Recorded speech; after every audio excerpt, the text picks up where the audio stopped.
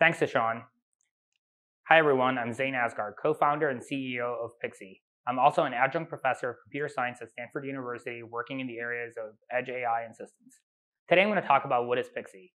In a nutshell, Pixie is a developer tool that allows software engineers to debug, monitor, and analyze applications that run on Kubernetes without having to manually add instrumentation to their source code. So with that in mind, why are we building Pixie now and where do we see things going? So, you know, over the past few years, software has started to become more decoupled, moving into microservices, getting orchestrated by Kubernetes, and many production systems even run across multiple clouds. So teams have basically figured out how to, you know, build uh, build software in a scalable and agile way. On the other hand, as we take a look at how we secure, manage, and debug our applications, we you know, still spend a lot of time just collecting and wrangling the data that we need to, to debug the app applications. So where do we typically see this time getting wasted? So the first area is typically in this rigid, predetermined data collection, right? A lot of it comes in the form of like boilerplate code that you add, and usually language-specific code that you add to your application that allows you to understand what's happening.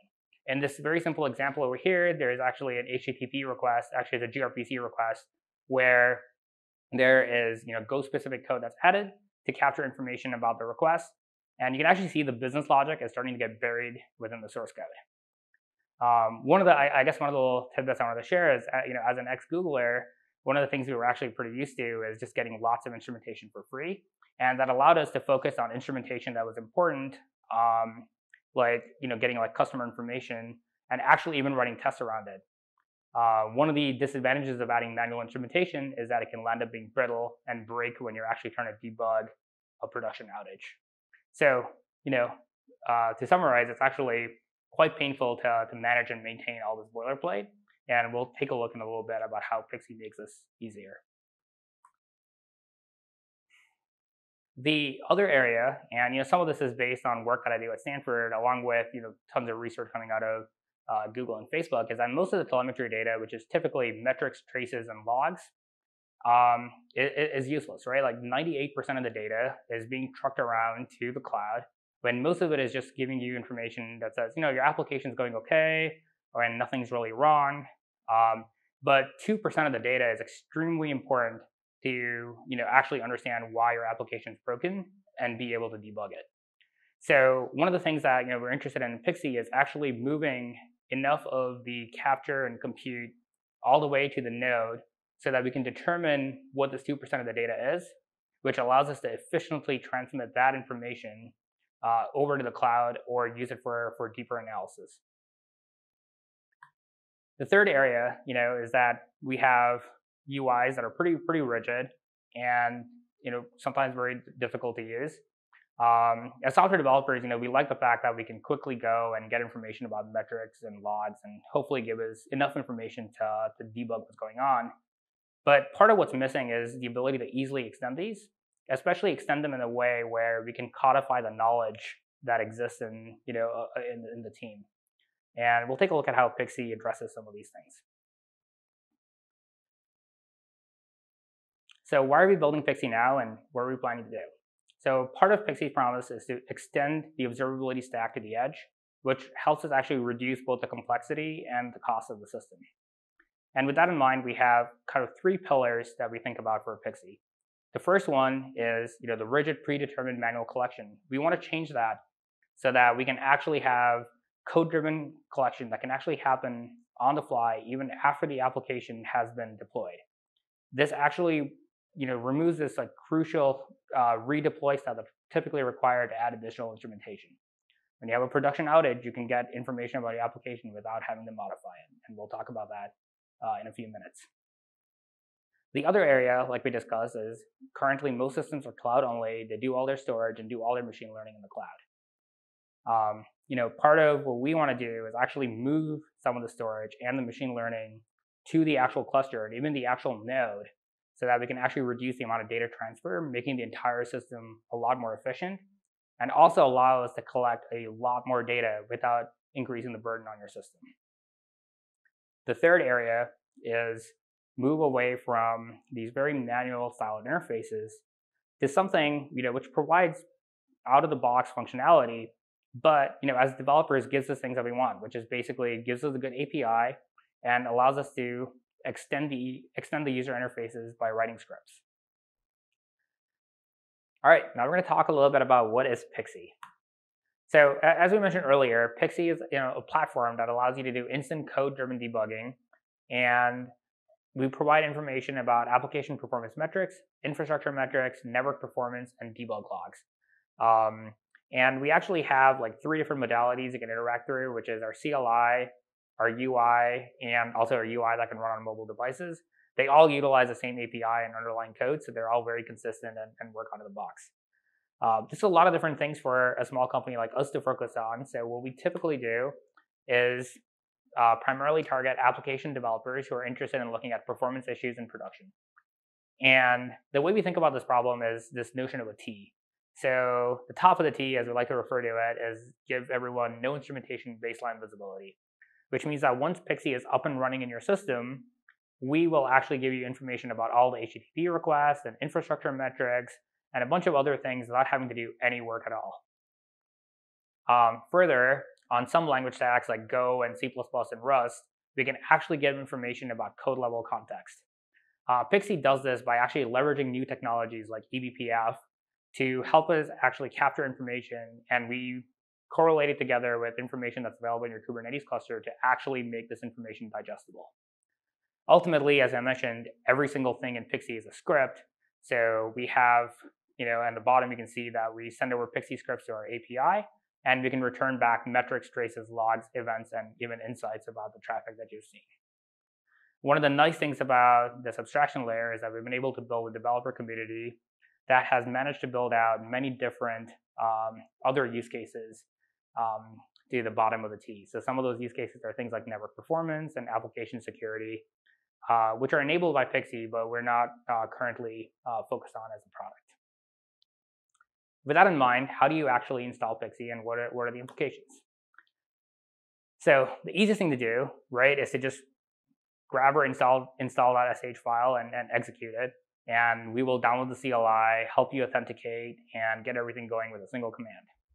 Um, if you want to get a little bit more insight into what's happening, you can actually use whatever other deployment schemes like Docker, Debian, or or even like YAML, YAML and Helm charts, uh, so that you can actually deploy directly to your cluster without using our CLI. With that in mind, um, I'll go through a quick overview of how Pixie is deployed using our CLI. Uh, since I don't really want to subject everyone here to, to watching the Kubernetes cluster deploy all our services and pods, uh, I'll actually just show a quick video of how this works. So to get Pixie deployed, you type in px deploy. We discover clusters, run some checks, and then basically let you install Pixie. Um, you can see on the bottom, we have a timer that quickly shows how, how uh, fast everything is running. And once Pixie is installed, which typically takes about two and a half minutes on, on my cluster, you can actually list all the scripts and you can instantly start seeing data. So just to recap, an install process, which takes about two and a half to three minutes, you can instantly get access to data without having to modify um, the cluster state or the application other than installing, installing Pixie. Cool. With that in mind, I will switch over to the UI where this is the same demo cluster that actually was demoed in the video, uh, where we actually have Pixie running. Since Pixie instantly actually gets access to all the traffic, we are able to generate all these service graphs for you like right out of the box. So this is like a high level cluster view. As you can see over here, I've selected my demo cluster and I'm running the script called px cluster. And we'll see what that means in, in a little bit. But you know, at a, in a nutshell here, we're seeing all the service graphs, which tell us like, here's all the services and what are the communication patterns between these services. In this demo today, I'm primarily going to use this application called Online Boutique, which is a shopping application developed by Google to showcase Kubernetes. So inside of Online Boutique over here, I can see there's this thing called checkout service. We'll be coming back to that in some more details later. Um, but if you take a look at the edges of the graph, we actually summarize all the high level information like requests per second, errors, and the latencies. Um, understands relationships between objects, so you can actually you know, double click on these entities and we'll be able to generate uh, entity specific views like here's the request per second or latency or CPU usage. Each of these views uh, in Pixie has a default for every type of Kubernetes entity. So quickly, I'm going to switch over to the namespaces view over here, which summarizes all the namespaces on this cluster. And as part of that, I'm going to go into Online Boutique, which is the application we're interested in looking at.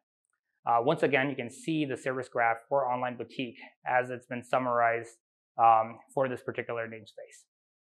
So, oh, one of the things we see over here right away is this plot, which actually shows you the latency distributions.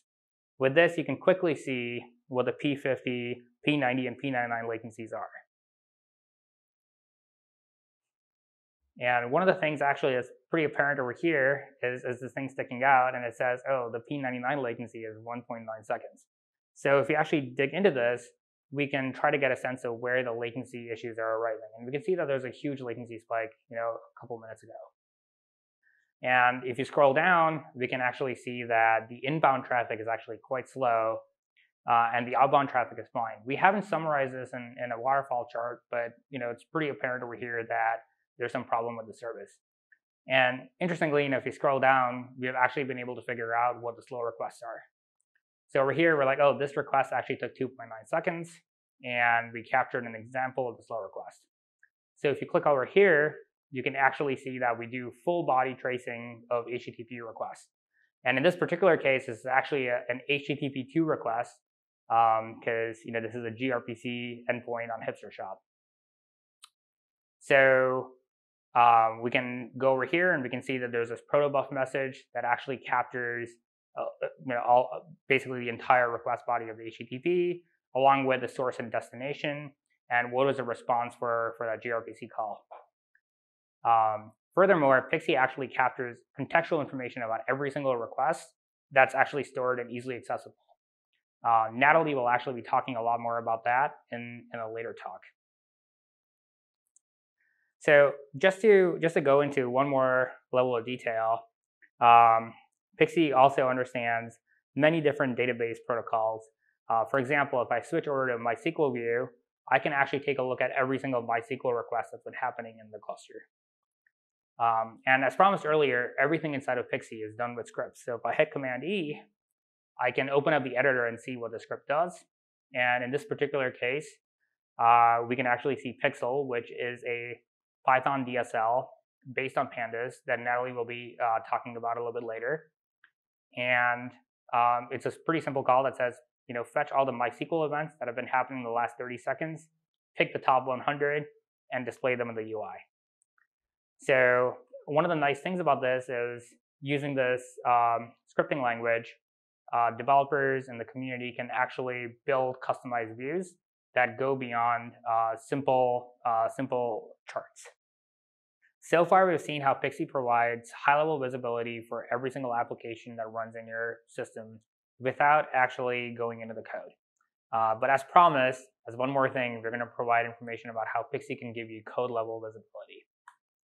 So Pixie uh, as one of its core focuses, can give you on-the-fly code-level visibility for Go with support for C++ and Rust coming soon. And you know, as I mentioned earlier, we already saw the no instrumentation baseline visibility, and now we're going to dive into what code-level context and, and visibility uh, means. So, you know, as a software developer, I'm sure everyone has run into production bugs that they wanted to solve, and they're basically thinking about, well, what if I could just add a print statement somewhere in my source code to see what's going on? And actually, we're here as one of the examples. We have a very simple function written in Go, and you're like, I really just want to look at these variables, and I want to stick a print statement.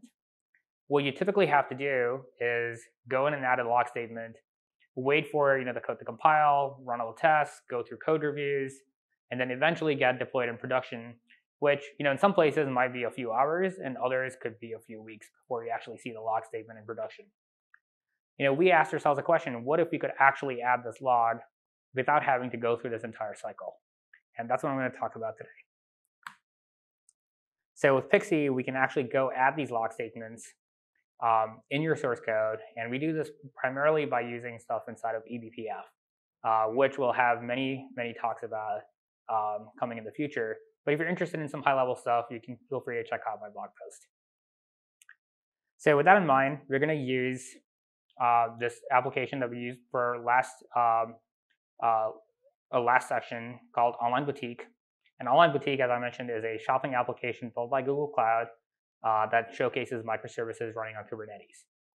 So in this application, you can you know go go do things like buy a vintage camera lens and add it to cart, and then it will tell you how much it costs in terms of US dollars, place an order, and buy it.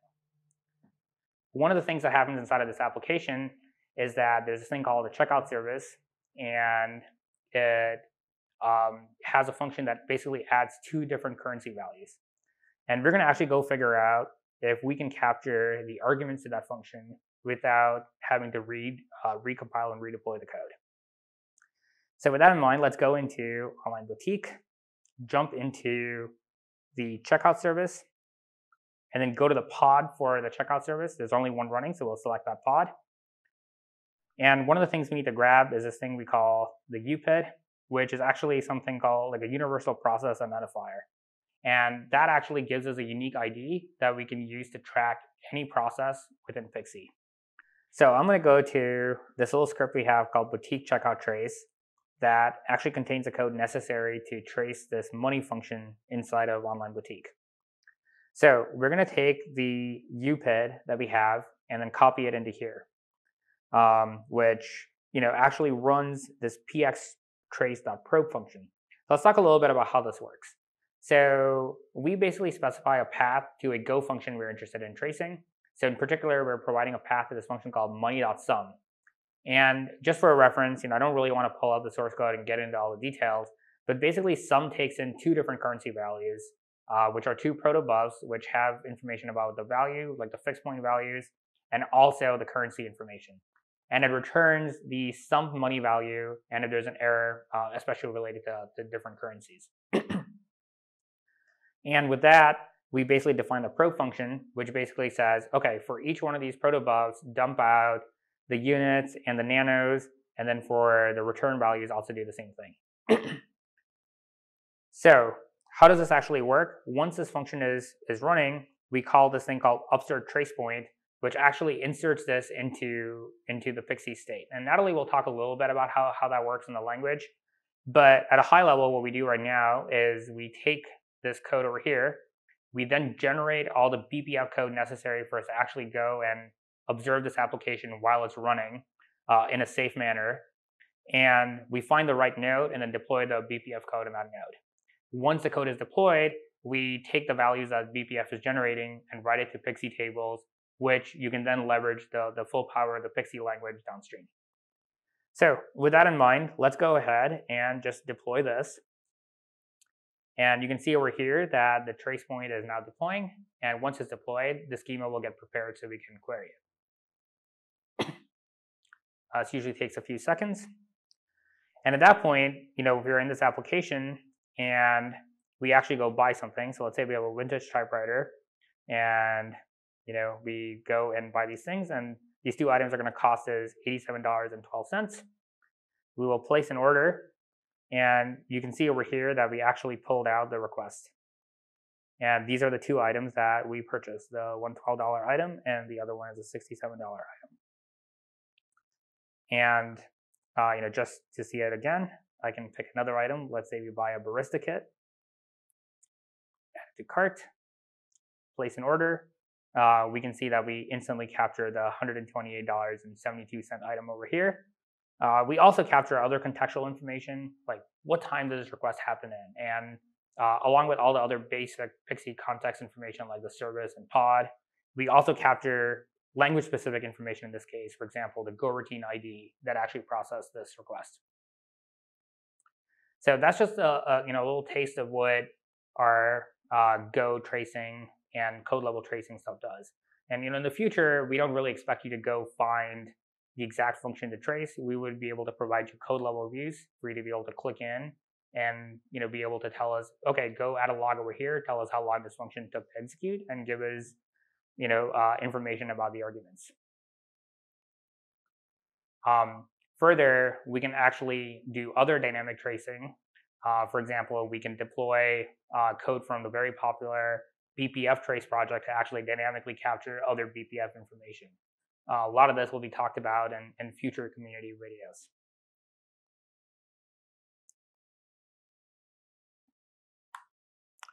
So with that, you know, it's a good jumping off point to what we think about other um, other use cases. So one of the things is that while Pixie as a company is pretty heavily focused on building code level context that help application, de- application developers debug their applications, the Pixie platform itself is pretty extensible. And this has allowed members in our community to build things to monitor you know, the CI build health or actually go deep into network monitoring, find out information about TCP retransmit events, or even build stuff that helps with application security. Um, and actually, Kelsey will be talking about some of these things in, in a little bit. So, you know, we talked a lot about how the community stuff works, but what are we working on next? So one of the things that we've been really excited by is, you know, building more and more edge ML. And what we mean by this is actually giving information by analyzing all the traffic um, that's running through your node and summarizing it by using various machine learning techniques. So, you know, someone on our team actually put this fun thing together, which reminded us of Microsoft Clippy. So we stuck this on a slide. But part of the idea over here is that we can actually go and analyze information and tell you what we see as specific problem areas. So in this particular case, you know, we pointed out there's a high correlation with latencies on one of your services. Um, since we actually understand all the traffic, we can actually go in and tell you specific keys that are causing trouble in your JSON messages or specific customer IDs or specific customer groups. Um, and all of this is done without actually having to do any work uh, because all of our models are running all the time and we're trying to figure out, based on this information, which signals are the most important ones to surface. You probably won't be seeing a, pic, uh, a Clippy coming in Pixie anytime soon, but we'll probably surface this in the UI in, in various different ways.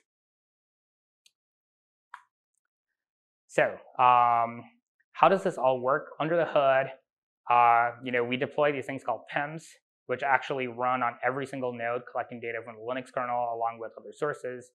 We actually run machine learning models inside of our PEM, which run on 100% of the data on our data streams we generate high-level features that we can then share with other nodes. Uh, in particular, we shared with this component we call Vizier, which is actually the thing that orchestrates monitoring across the entire cluster.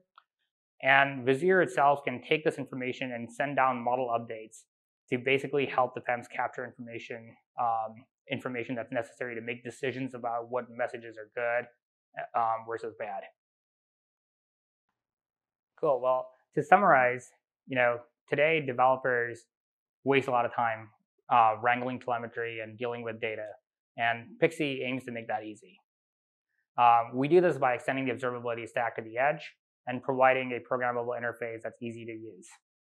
Um, our core focus is delivering what we call this one-click APM experience, where you basically install Pixie and you're up and running for application performance monitoring.